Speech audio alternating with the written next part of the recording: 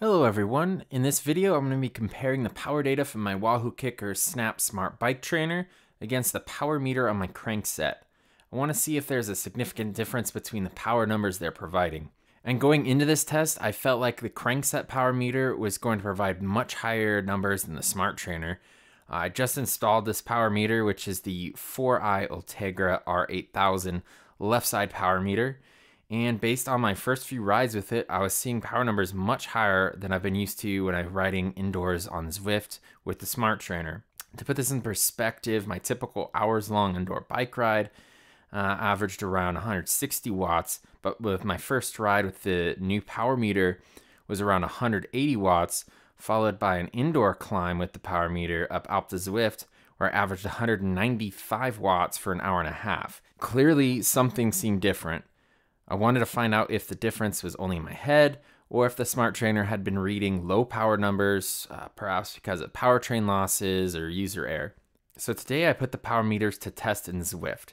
First by using a custom workout to hold wattage of the smart trainer at 100, 200, and then 300 watts for one minute each. And second, uh, a 10 minute free ride test where I'd compare the average power reported by the smart trainer against that reported by the power meter. In both tests, I paired the Smart Trainer to Zwift and the power meter to my bike computer. The stated accuracy of the Wahoo Kickr Snap is plus or minus 3%, and the stated accuracy of the 4iii power meter is plus or minus 1. The net tolerance is therefore 4%, and any difference within this amount is to be expected. Now for the results. You could see that for the most part, the difference is within the net tolerance of the power meters uh, for the most part, the left leg power meter seems to average a little higher than the smart trainer. However, the most interesting result is the 10 minute free ride, where the power meter averaged 5% lower than the smart trainer. This is the opposite result of what I expected, so I dug in a little further. Here is the power versus time plots for the smart trainer in purple and the power meter in green there are two notable differences. First, uh, the green power meter plot is more variable or spiky, uh, to use a non technical term. This can probably be attributed to the placement of the power meter very early in the powertrain, whereas the smart trainer is measuring at the very end of the powertrain and is therefore a bit dampened. The second difference is that there are sections of the green power meter plot which are clearly averaging below the purple Smart Trainer plot, and sections that just do not match at all. After a bit of research, it seems that this is most likely due to using a left side only power meter. By using a left sided power meter, I'm only measuring the power output of my left leg.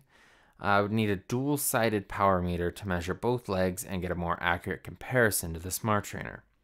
It is very possible that I have a left right leg imbalance during this particular ride, as my left leg does tend to be the weaker leg after long endurance efforts, and I just completed a solid effort up the Alpe Zwift uh, the evening prior to this test. The results were pretty surprising to me because I was convinced that the power meter was giving me higher numbers, and it is still entirely possible that when well rested, my left leg is working harder and feeding the power meter with more watts than my right leg. But for now, it ended up being a good lesson in how our perception of ride difficulty can vary day to day, and that there are other factors at play which can greatly influence your performance on any given ride, such as recovery, nutrition, being outdoors, or simply being excited about a new piece of gear. Leave a comment below if you have any other questions or suggestions for ways to better test the difference. And don't forget to subscribe for more videos.